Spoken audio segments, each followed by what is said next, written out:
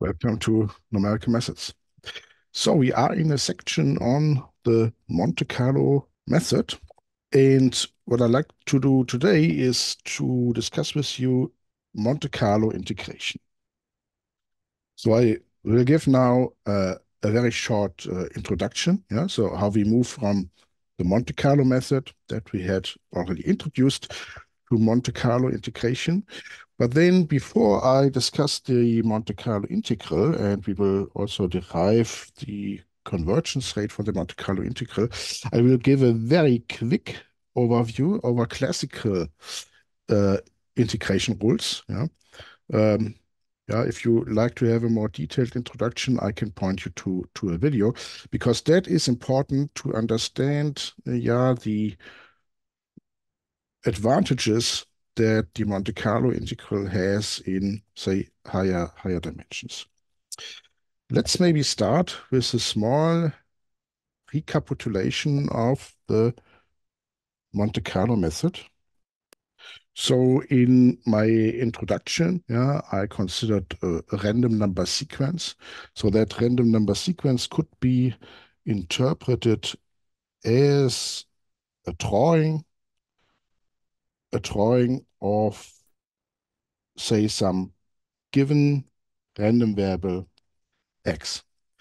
And then it was important to understand how such a drawing is modeled. So such a drawing is modeled by considering a sequence of IID random variables. So this is here my x tilde, which is the sequence or the vector of IID random variables x1 to xn. Yeah, IID and all having then the same distribution as my original random variable x. And then the drawing is just one event evaluated here on this sequence of IID random variables. So that was the first little observation. So this is just one event. Yeah. So sometimes later you could also say it's a sample path. Yeah.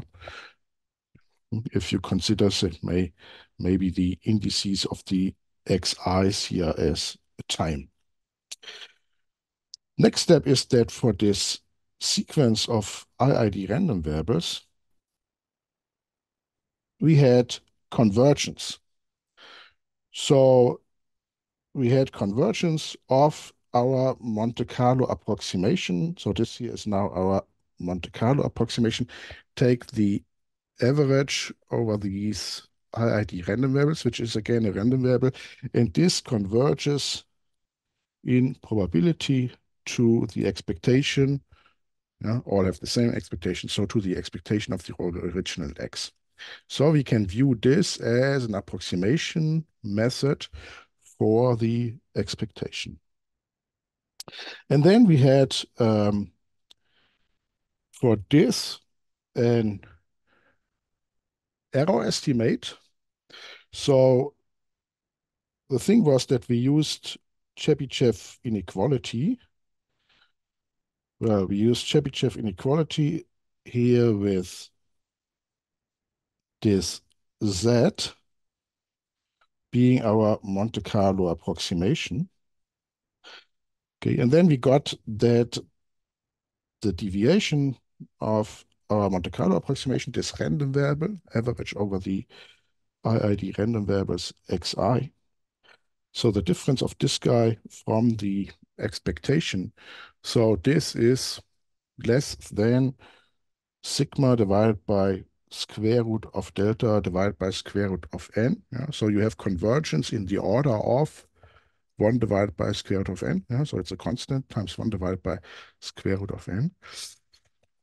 With a certain probability, and this was the second, maybe little drawback, yeah, you prescribe a certain probability level, yeah, so you would like to have this convergence with 99% probability, and this results holds only in probability.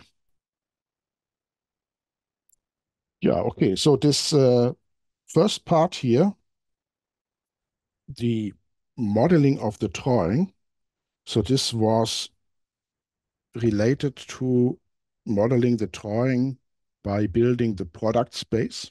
Okay, this was here our product space. Then this second part here, the convergence results. Okay, this was the strong law of large numbers, so that we have convergence. And here the last one was our Monte Carlo convergence rate derived from Chebyshev inequality. So now I would like to use this here to build an integration rule. And the following lemma allows us now to extend this results because what we have is if you have a given function f, so there is some function f, say from R to R, if then xi are IID random variables, then f of xi is also a sequence of IID random variables. Okay, so how can I use this? So what we will do is the xi, I just, for example, uniform on 0, 1.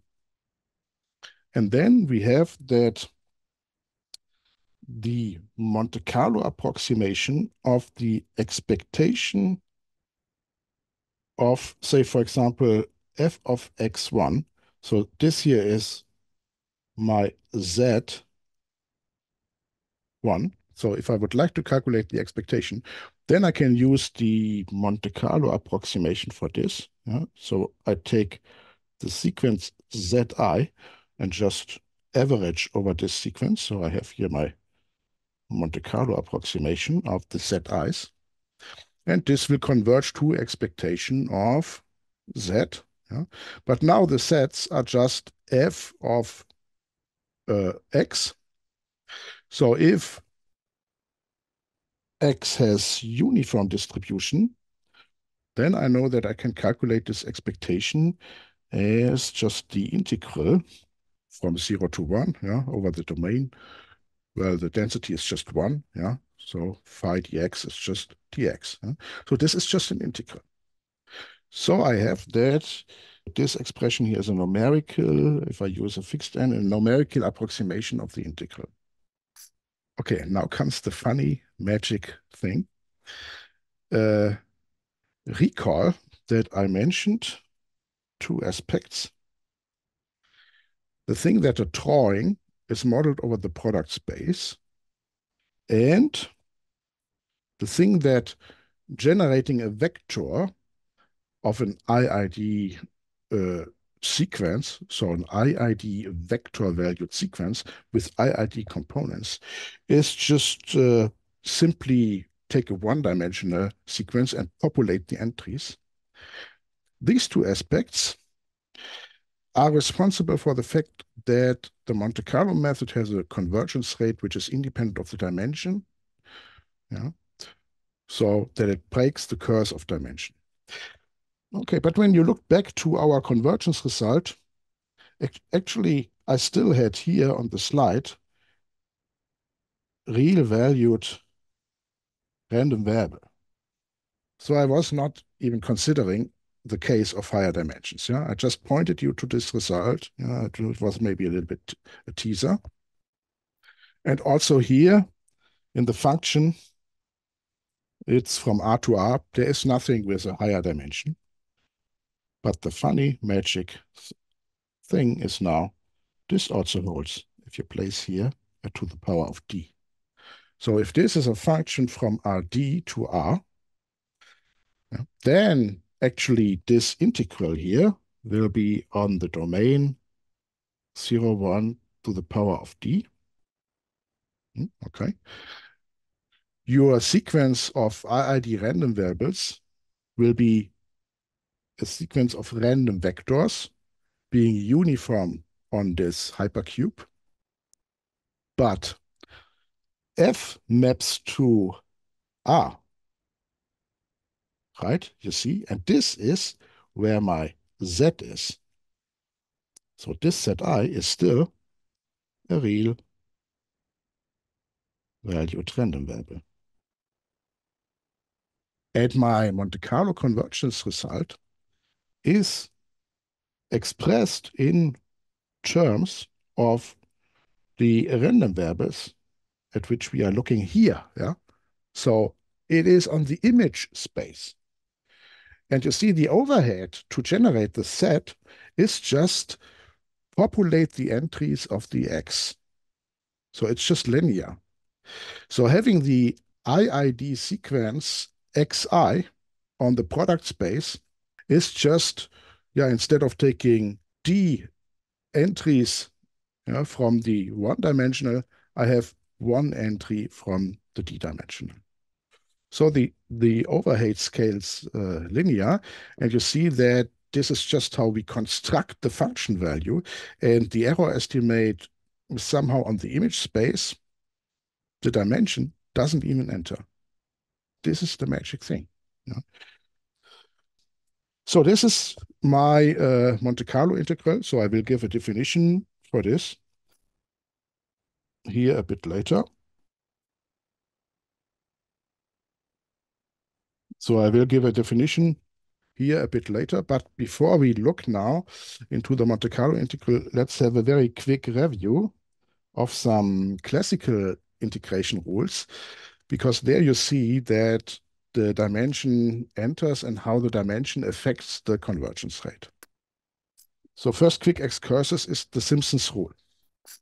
The Simpsons rule yeah, approximates here the integral from a to b with three points, left point from the interval, right point from the interval, four times the, the center point. Uh, and then you can derive that when you have here certain coefficients, 1, 4, 1, and then divide by 6, you have a certain approximation error. Uh, actually, if you think of Monte Carlo, Monte Carlo would just take the sum of function evaluations. You see that we take one function evaluation at the left endpoint, one function evaluation at the right endpoint, and four function evaluation at the center point. So it has a weight of four. So these are six times the values, and then I just average divided by six. Yeah? So this is like taking sample points and average. Um, for this, you can derive that you have an approximation error, which is, yeah, okay, some, some constant, and then the length of the interval to the power of 5 times the fourth derivative. This stuff is derived in a very classical way. You approximate the function by a, polynomial using Taylor's formula. Yeah. Then the difference of the approximation and the function is the remainder. And then you just integrate. So from this that you use uh, actually three points, you would expect here a third derivative because if you just use uh, one point, you have the correct value and the error is the first derivative. If you use two point, you have the correct value and the correct slope, yeah, and the error is the second derivative, hmm, and so on. But the special choice of these weights here in the Simpsons rule actually gives us an additional order, yeah, so it's the first derivative. But don't care about this. So if you have now an interval that you decompose here into smaller subintervals, for example, in this case, 10, you could apply the Simpsons rule for yeah, every three points here. Okay, so three, three points. And then you take the sum over these Simpsons rules, this one. So actually with 10 points, I have five double intervals. And if you combine these, if you take the sum, actually, whenever you are here in a point that is in between two such integrals, you have two function evaluations. Yeah, it's the right endpoint for the first approximation and the left endpoint the, of the yeah, second approximation that are added. Yeah, so you will get a 2 here. So if you do this for the interval, you have a certain scheme, how you weight the function evaluation. And this is actually now the general case. So if you take m plus 1 evaluation points, so I start counting in 0 and I end here in m, yeah, then uh, the approximation of the integral, say the integral from x0 to xm, yeah, this can be approximated by the Simpsons rule using the following uh, scheme. You evaluate your function here on some equidistant evaluation points. And depending on if they are the left endpoint or the right endpoint, they get, get the weight 1. If they are the odd points, the blue ones, they get the weight 4. If they are the even points inside the interval, they get the weight 2. And my approximation error is of the order h to the power of 4. Yeah. So, so here you have a power of 5. Yeah. So, but if you sum all these integrals, one of these things is summed up to the length of the total interval, and we have an h of the power of 4, which is left here. Yeah, so you have, like you would expect from a Taylor approximation, an approximation error h to the power of 4. Yeah, actually, Taylor, with these points, we would expect h to the power of 3, but we get, due to the special choice of these weights, a slightly better uh, approximation error. The h is just the size here of my interval.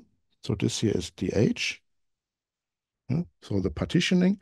So actually the h is like uh, 1 divided by m. Uh, 1 divided by m multiplied with the length of the interval. Um, so the m plus 1 is the number of the evaluation points. So m intervals of the size h.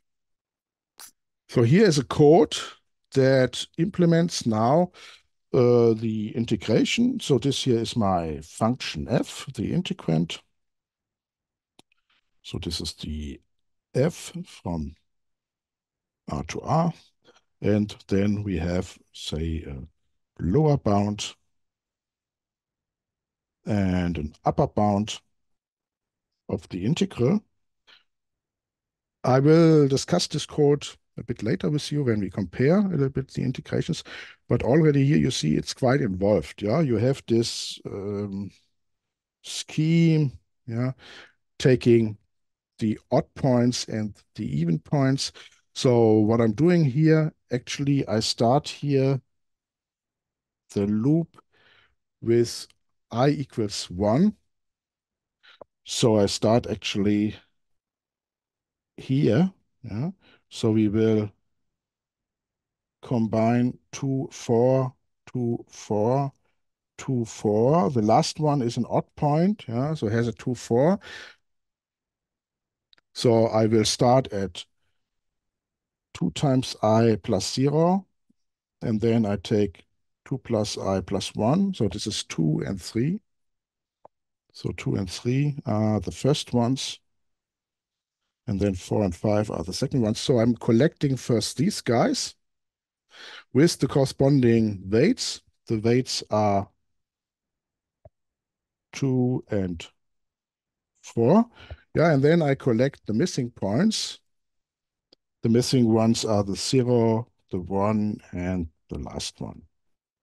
So I'm collecting here these three missing points, yeah, and then I have calculated the integral. Looks a little bit complicated. if you work with Java streams, it is a little bit shorter, the code, yeah, because the loops uh, are now removed and they are just streams. But uh, still, it looks quite quite involved with these uh, with this scheme. You can do the Simpsons rule in higher dimension. So if you do the rule in higher dimension, actually you use iterated integrals. I will comment on this. And then you get an approximation error, order h to the power of 4. So if I if I now move to, say, d dimensions, actually I need the Cartesian product. So the thing is that I need m plus 1 sample points in every dimension. So I need n sample points. But the error is still h in the sense that it's 1 divided by m. Yeah? So if n is roughly m to the power of d, this means that the m, yeah, the m is n to the power of 1 divided by d. So if I would like to express now my error in terms of the evaluation points, it is 1 divided by number of evaluation points to the power of 4 to the power of 1 divided by d. Yeah? Because the error stays the same, but for the higher dimension, I need more sample points. So you see that the convergence rate is degrading. So this is, for example, a 1 divided by square root of n for d equals 8. Yeah? And if you are higher, you, we are getting even even slower. Yeah?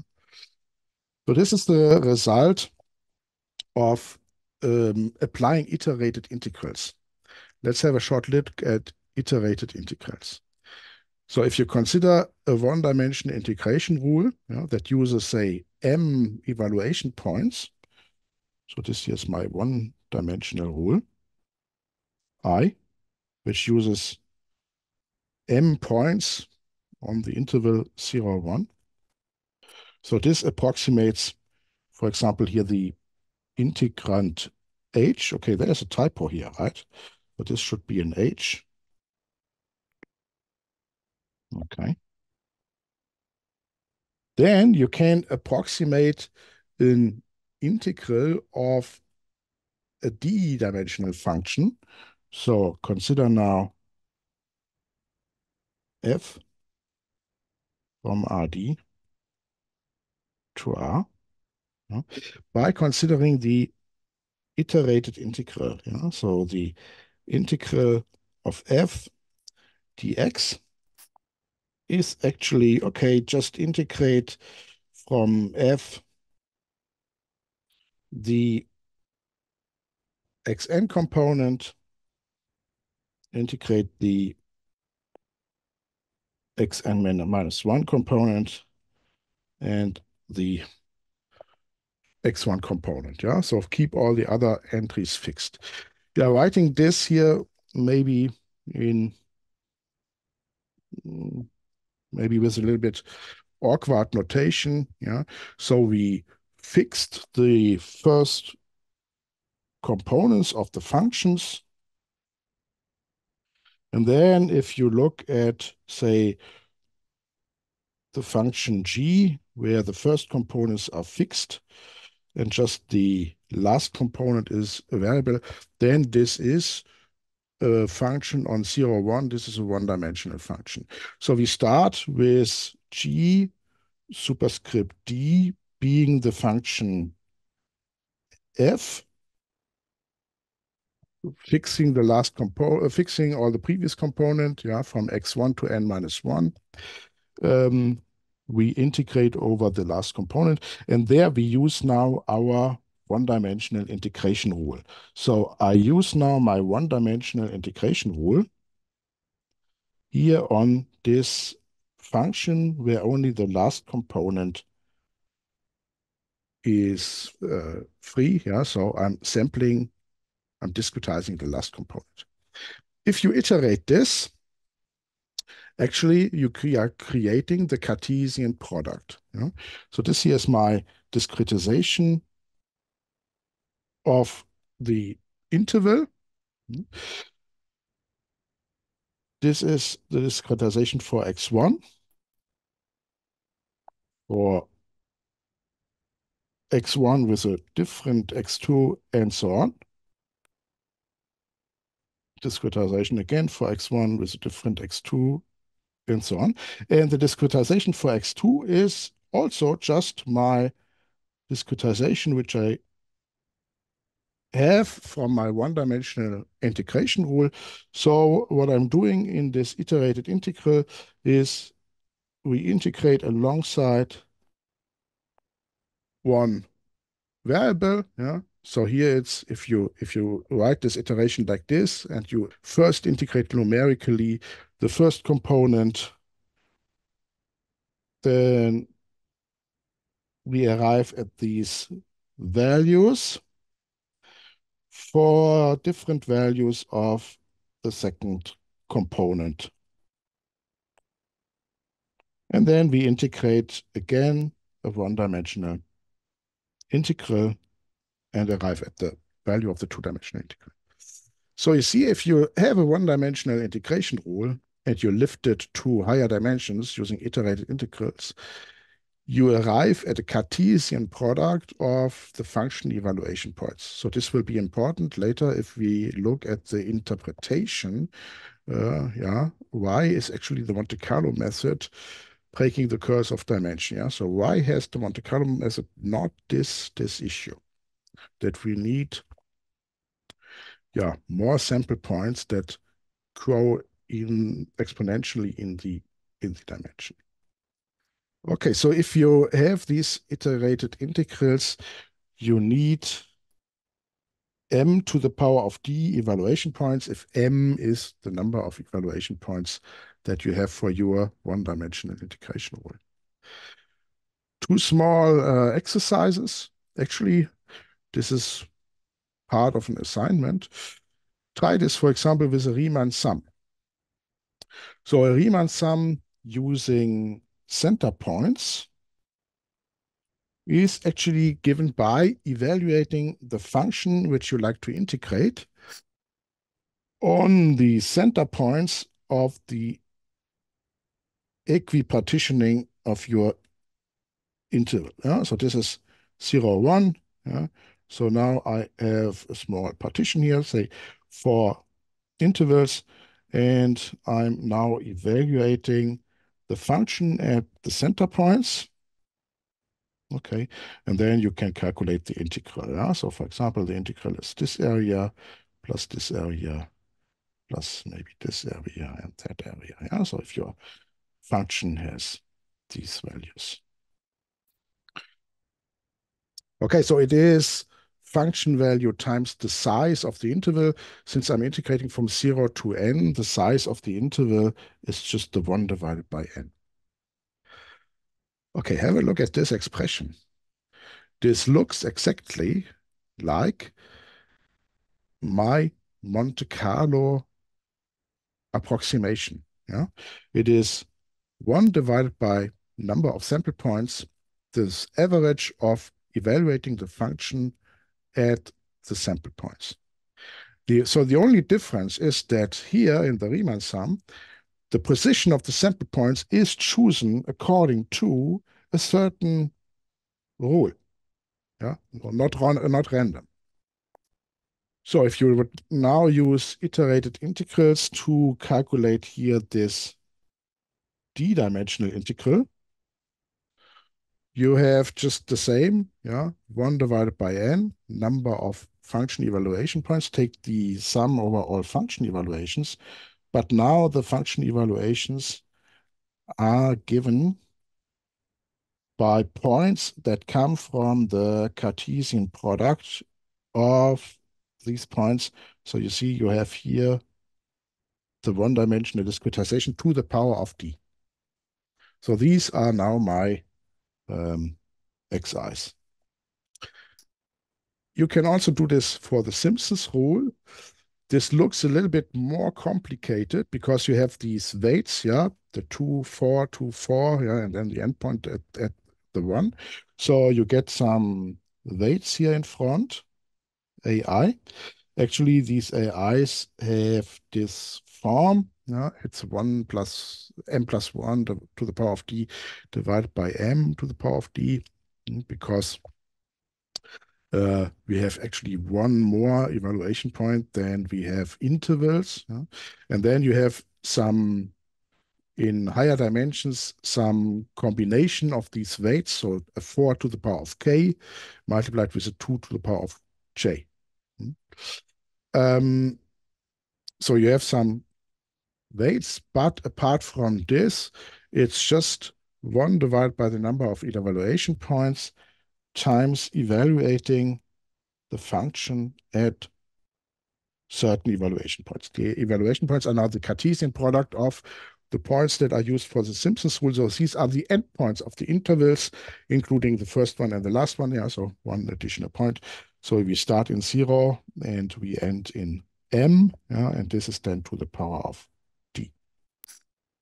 So the number of the evaluation points grows exponentially, but my error estimate is still the one from the one-dimensional rule, yeah, because you could have an error in one dimension and all the other integrals are just constant. Yeah? So you will get exactly this error from the one dimension. So the error is still the distance. So it's still the 1 divided by m, but I use m to the power of d or m plus 1 to the power of d. Yeah? So if you relate now the error to the number of evaluation points, it is of the order yeah, number of evaluation points to the power of 1 divided by d. Yeah. To the power of, if you have a, a certain integration rule that is a little bit better, 4, 3, whatever, but if the d becomes larger, your convergence becomes slow. Yeah, so a little exercise, maybe you implement this, you can you can actually create elegant implementation for the for this constructing the Cartesian product, and then you can check, yeah, that if you go to 10 dimensions, yeah, that this stuff is getting really, really slow, yeah, and suddenly Monte Carlo integral takes over. So that was a sh short overview over classical integration.